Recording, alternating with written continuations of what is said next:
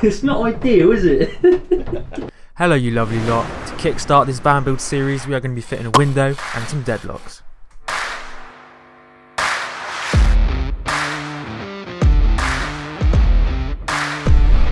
Give it a bash.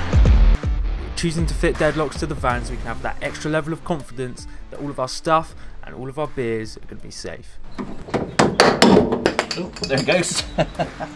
See, if we drill through here to get the rivets in, and then it'll all drop down inside, then we can clean it all afterwards, get all the muck and corruption out. What you're seeing here, which I highly recommend you all do, is to measure, re-measure, and then measure a few more times just to make sure you've got it dialed in to that exact location you want it. We picked these bad boys up from Vanlok. The whole set cost around £130. They're really good, but the instructions are a little bit shit.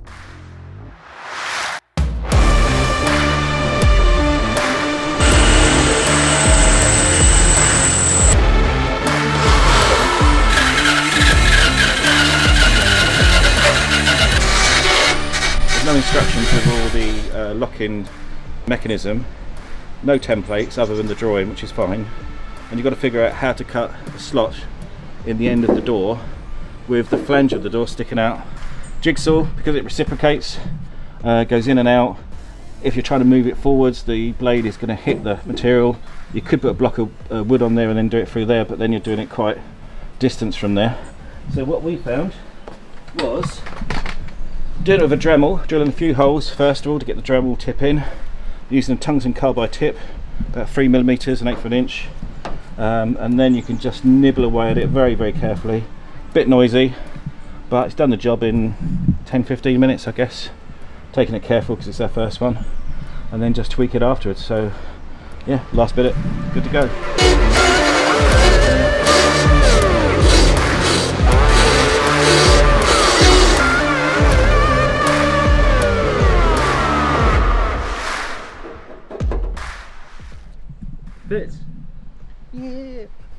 Just putting in the lock-in hole for the outside of the door.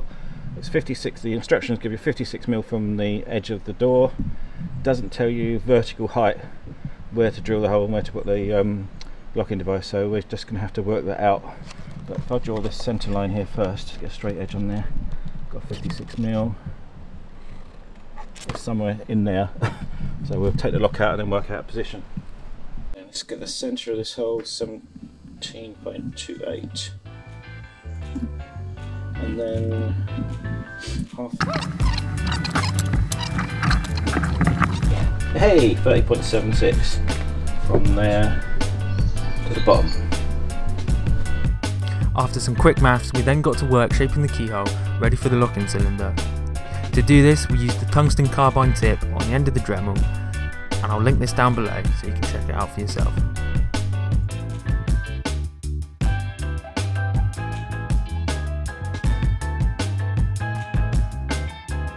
Perfect fit. it's not ideal Finally, we used a rivet gun to secure the lock to the van. For more detail on how we did this, check out the blog post that I'll link down below.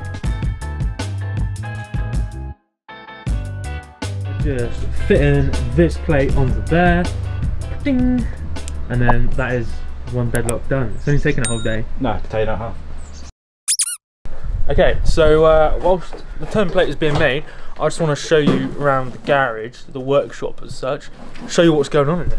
Okay, so we've got we got the window, which is the one that we're just about to put in.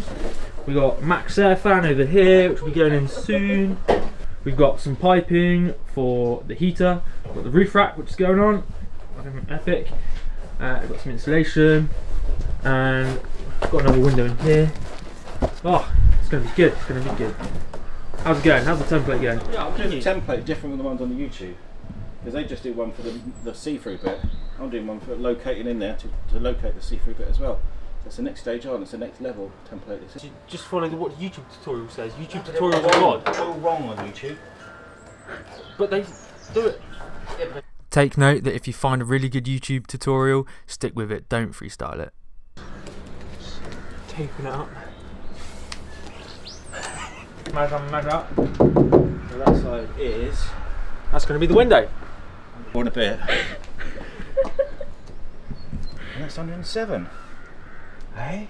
Yeah. It's not going too well. They're remeasuring and measuring, so.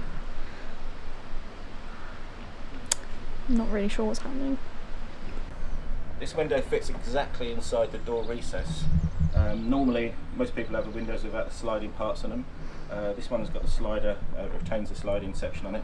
So it's actually wider. You have to cut a, a window hole wider than normal. Uh, normally, you, you just measure up to the transparent bit of the window.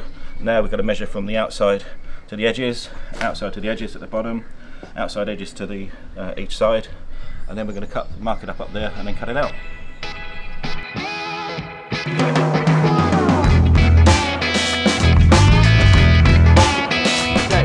So when you when you're doing this, when you're trying to do the curves, uh, connect the curves up. Make sure you've got a compass, like a scribe, a compass, just anything, because uh, This works. what we're doing, it's not great. Alright, let me show you. Job to the extreme.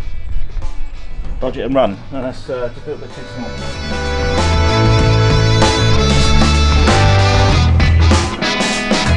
We're just taping up around where we're going to be cutting, uh, so we don't damage the van with the jigsaw. Not that that's going to matter too much.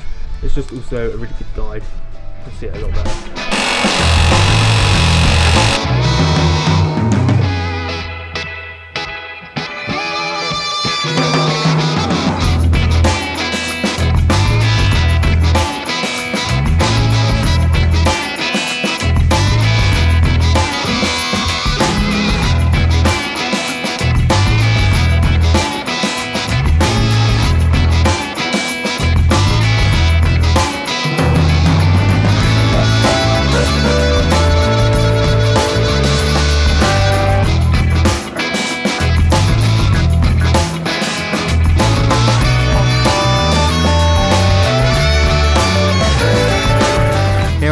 Taping and propping the window up, ready for it to set overnight.